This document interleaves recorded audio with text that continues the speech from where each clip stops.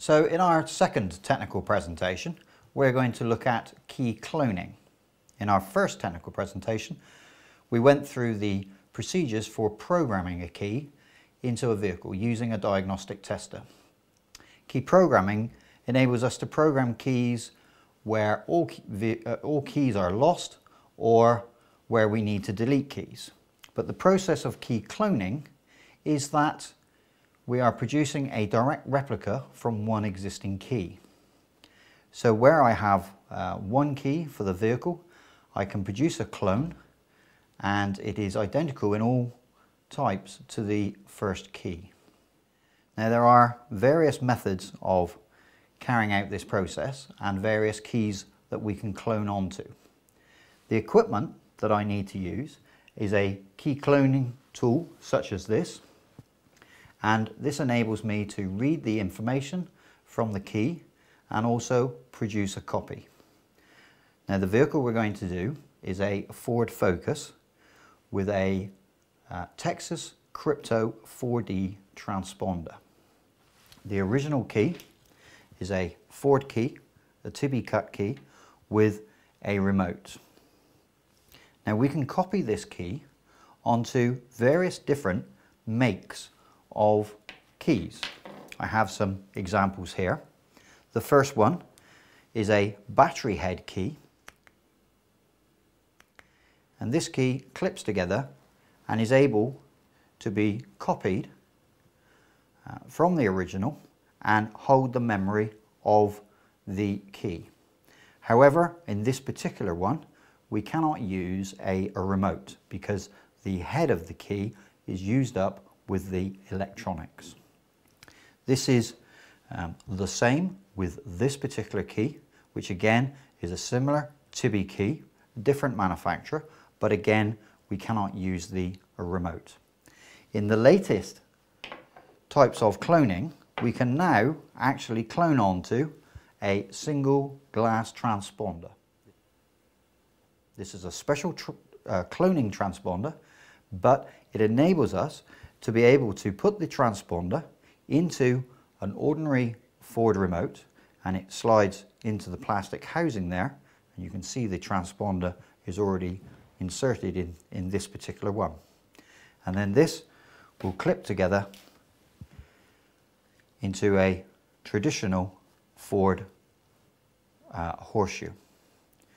So if I take my first vehicle key, this is the key that the customer already has, and they can come to uh, your shop or your garage and ask for an original uh, or an additional key to be made for this for this vehicle. It's good policy to obviously check when somebody brings a key to you that they are actually the owner of the vehicle. Um, maybe you would want them to produce the V5 form to enable you to be sure that um, that they should have this this uh, copy key. The process of copying this key uh, is, is very simple. We enter the key into the antennae of the key cloning tool and select on the menu copy key. Once we've got copy key, we press enter and it will then ask you to press R for read. The tester will then go through a process of identifying the transponder and as I said earlier it has come up with a Texas crypto transponder and also tells me on the screen that this key is able to be copied because it shows me the symbol of WR. The tester will now request us to press W to copy this key. So by pressing W, I then have a choice of methods to program, or sorry, to copy this key, to make a clone of this key. We are using a, um, a module here called a TPX cloner. There are various different methods uh, to actually work out the secret code or the code of this particular key. We can use the internet and connect the, the tester direct to the internet. We can use a separate box or alternatively we can have it built into the main um, body of the, of the tester. So there's various ways we can do that. On the screen I'm going to select TPX Cloner which is this particular box and press enter and this will now communicate with our module and then calculate the information from the key. My tester has now carried out the calculation and I have on the screen the code for this particular um, car key.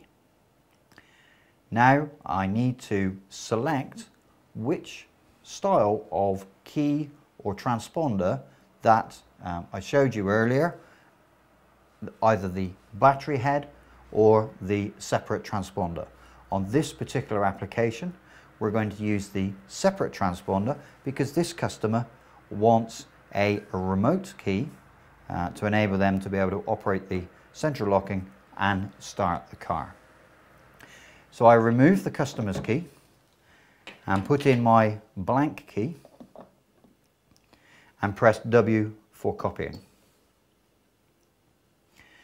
On my screen, it now shows me a screen that says uh, writing and then verifying and those bleeps uh, tell me that the key has been cloned.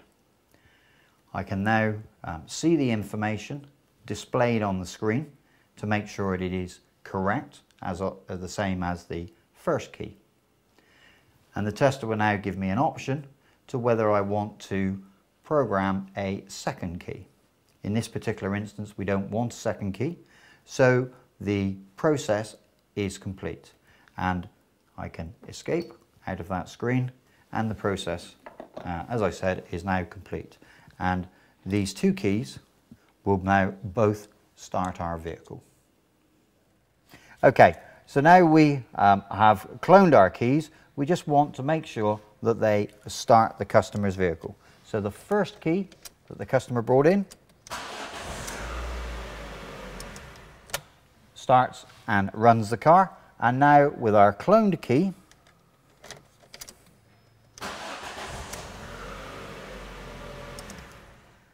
that too starts the car. So we now have two keys from the original one that the customer came in with. The last procedure we need to carry out is to program the remotes. On this particular car, the Ford Focus, the remotes are a manual process and the process is to switch the ignition on and off quickly four times and we will get a bleep from the car to tell us that it's in programming procedure. I quickly follow that by pressing the lock button on each remote and that will again give me a bleep to say that that remote has been stored into the memory.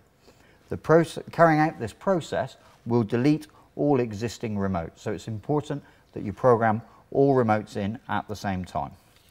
So using either key, switch the ignition on and off four times and there's our bleep. Quickly followed by pressing the lock button, one bleep for this one, and a bleep for this one. So we now have the two programmed remotes.